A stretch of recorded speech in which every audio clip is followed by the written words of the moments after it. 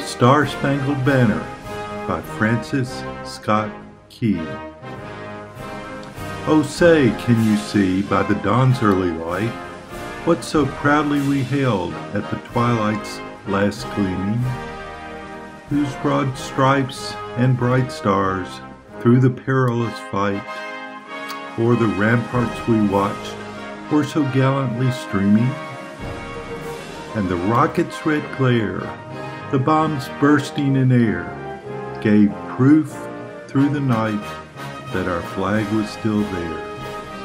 Oh, say does that star-spangled banner yet wave for the land of the free and the home of the brave. On the shore dimly seen through the mist of the deep, where the foe's haughty host in dread silence reposes, what is that which the breeze or the towering steep, as it fitfully blows, half conceal, half discloses? Now it catches the gleam of the morning's first beam, in full glory reflected, now shines on the stream. Tis the star-spangled banner, oh long may it wave, o'er the land of the free and the home of the brave.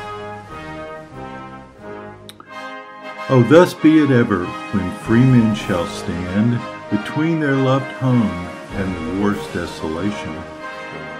Blessed with victory and peace, may the heaven rescued land praise the power that hath made and preserved us a nation.